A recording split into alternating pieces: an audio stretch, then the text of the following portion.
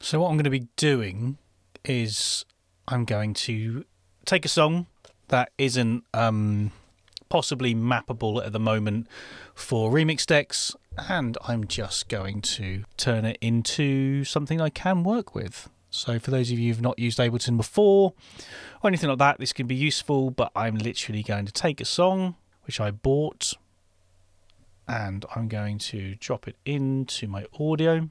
What we need to do is find out the tempo. 161 beats per minute. Okay we can mix that into some jungle but let's start with that. And then what we need to do is we need to warp this. So what I'm going to be doing is just setting up a warp in here. Uh, for those of you who didn't know how to do this this is a really cool thing and I use Ableton all the time for this. And we want to um, get really into the waveform we don't need to worry about any of this section here so what I'm going to be doing is I'm going to be zooming in here. And we want to take it to here. Now I want to listen to it quickly. I might be able to cut that bit off there. So yeah, there's no reason for that pickup. Do doom. We can start bang on the one there. Set one to one there. So this will be our ones. And we're also going to warp, but we're going to warp uh, straight. Right, so we're going to do this.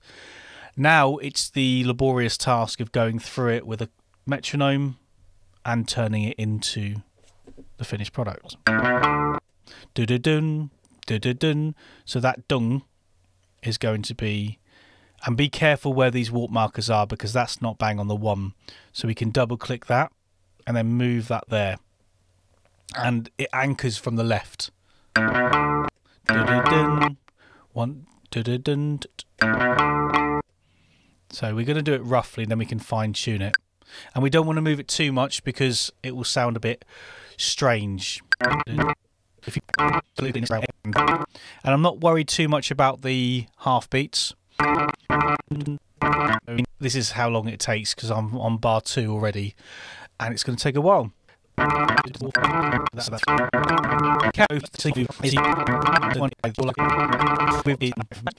Um, these, when I'm doing a remix set in Traktor, we want these to be on. Otherwise, when you put it with a bass drum, they're going to be slightly off. So I am going to tidy all these up.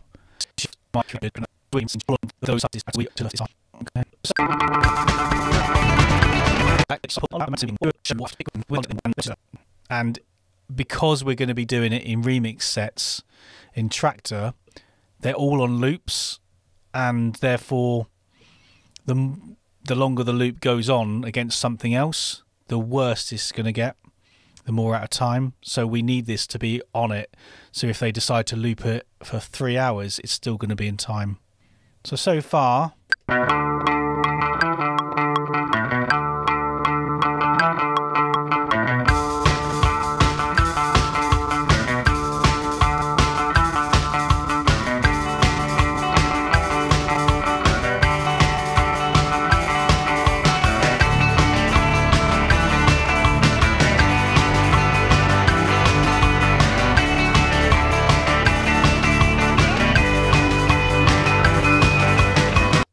So I'm happy with that. Yes, there are slight glitches, as in software pushes and pulls, but there is not a lot I can do about that.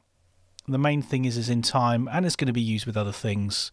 What I'll do is I'll do a bit more, and then I'll show you what happens with it afterwards. I could just cut this now, knowing it's 100% accurate because I've warped it, and I can just do Command E, and I can highlight this and I can either put it in a loop, but I'm not going to bother with that.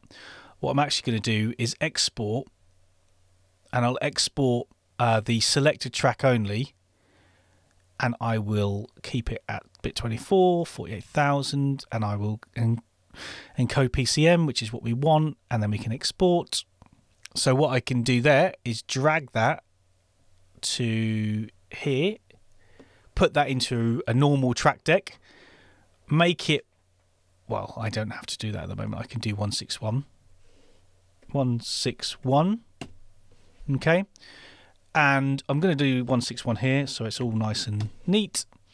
And I'm going to sync it Now, if you look at the transients here now, get rid of that. They should all be spot on. And then we can go back to one and loop it and listen to it.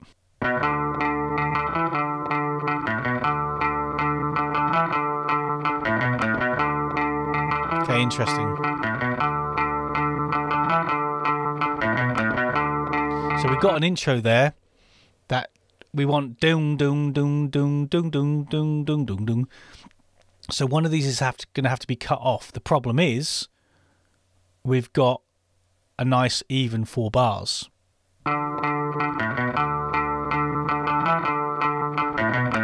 So all we need to do, not a problem. I'm just going to loop, loop two of them.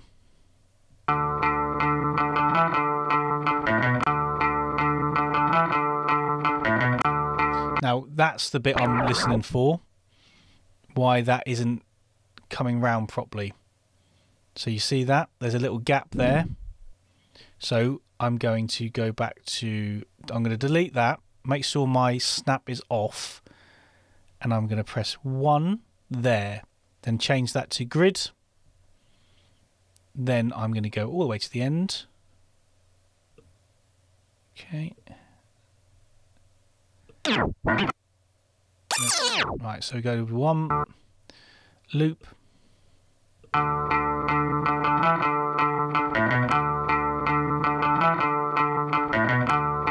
It's a little tick there, but shouldn't be too bad. Now what I can do is change the remix decks to 161 because that's what um, this is. Sync this bad boy. Then I can drag this over the top. Now, let's find out if that's going to be nice. Anyone ask for New Order drum and bass? And I can turn it up. That essentially works. We could try it with a 4 on the 4 bass drum, but that loop keeps its own now to something that is um, doable. And again, if we just um, that.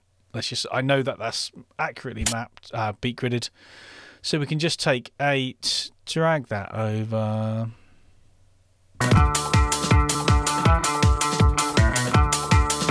And we're just seeing if it goes out of time.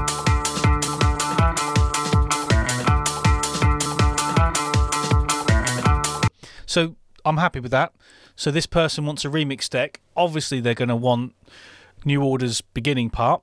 So if we take it from here and we slice it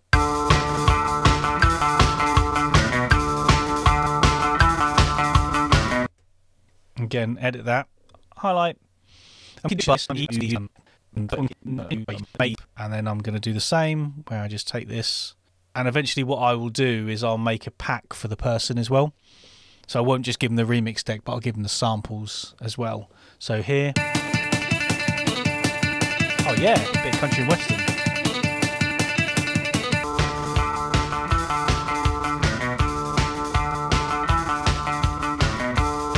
So that sounds alright, but we need to put that with something we've already worked on. So.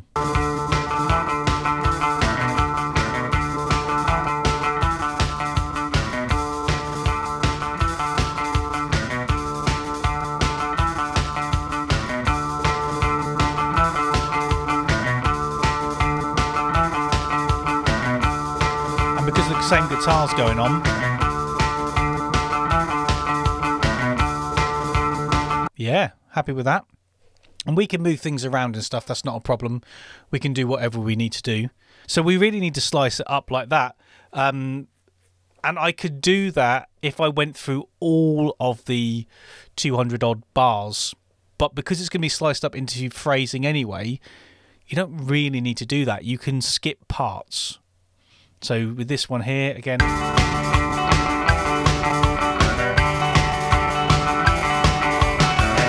See, the thing is, this has a fill, and you wouldn't really want that, really want that in a remix deck. You'd probably want... You'd probably want it there. So again, we'll slice that. And the good thing is, is now we can check these are all on point. point And again, let's do that. 161, they've got it right this time. Now I'm just going to check that gap.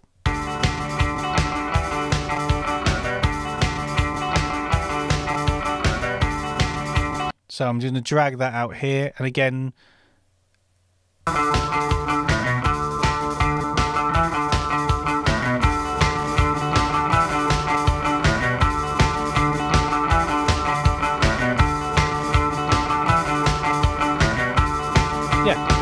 So you can see they're all in time now, and that means the client can use it however they want. I, you know, anything over anything.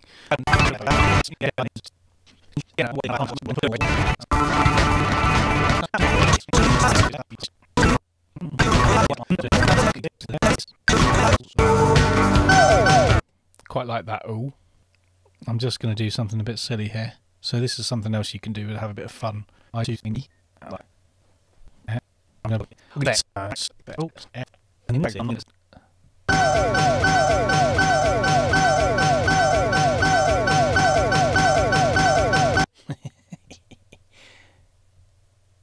Now, this one here, I'm just literally going to do an in and out manual. So get rid of snap. Actually, I can use it for the first one. In. And then I'll just go take snap off. Let me just take that out there. Put that there. Change that to one. Yeah.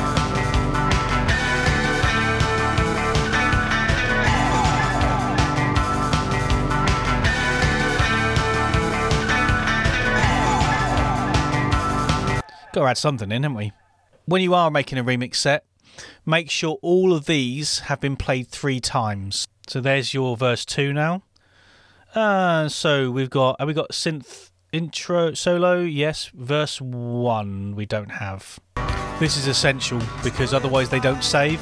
They have to go into your samples because when you click save here, it's not going to if we turn that so we got no guitar effects so what we need to do is to put that into a loop there we go weird hey that you have to have it in a loop to go down there right i've got to go off and teach um, thank you all for joining me that's very kind of you um, yeah, I hope you all have a nice time. Remember, stay safe. If you're in the UK, we're locked down on Thursday, so please be sensible and look after yourselves and others and I will see you again.